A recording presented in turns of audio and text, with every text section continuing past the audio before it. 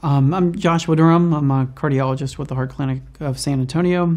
Um, been in San Antonio since 2017. Um, however, this is my second time in San Antonio. Uh, I trained here while I was in the Air Force, and then uh, went back to Virginia for a bit of time while I was uh, serving at Langley Air Force Base. And then once I left the Air Force, uh, came back home um, for uh, well, came back to my wife's home, and then now it's my home too. Yeah, so I'm a, I'm a general cardiologist. I have um, specializations in advanced cardiac imaging, so that means I uh, spend a lot of time with uh, echo and um, uh, cardiac CT, um, as well as some nuclear perfusion imaging uh, as well. Um, I, am a general cardiologist, so I see all types of uh, cases, so whether that's arrhythmia or valve cases um, or heart failure uh, or the traditional heart disease like blockages in heart vessels. Um, I also have special interest in kind of the intersection of cardiology and oncology, which is a kind of an emerging uh, field called oncocardiology. Um, and that's uh, just keeping your heart healthy uh, through uh, cancer therapy.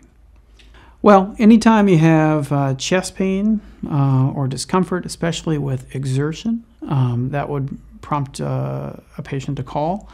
Um, but even things like palpitations or lightheadedness, uh, almost passing out or passing out, uh, those are symptoms that really shouldn't be ignored that we should see. When you reach survivorship, when you've made it through chemotherapy and you're cancer free, um, those survivors, the number one cause of death is actually cardiovascular disease. And so we want to see those folks. You know, if you're 10 years from breast cancer and radiation and chemotherapy, we want to see you. We want to make sure that everything is um, the way it should be. We don't want any surprises. So I'm, I'm very interested to see those patients. Um, any concerns um, or questions, uh, happy to happy to, to, to, see and, and, and see if uh, we need to make any interventions. The impact of chemotherapy on the heart is specific to your treatment. And so Radiation has some risk. Uh, it's gotten better through the years, but it does have some risk. But usually that's 10 to 15 years later. Um, specific chemotherapy agents also have some risk. Some are immediate and some are minor. The good news is that it's not a black box.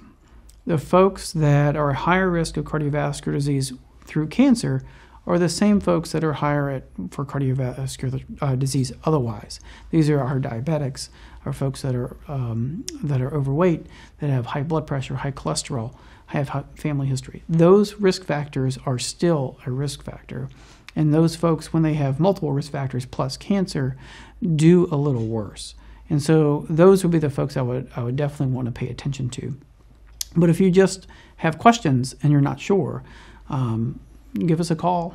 Um, happy to look everything over and uh, get a baseline screening and get a sense of what your risk is moving forward.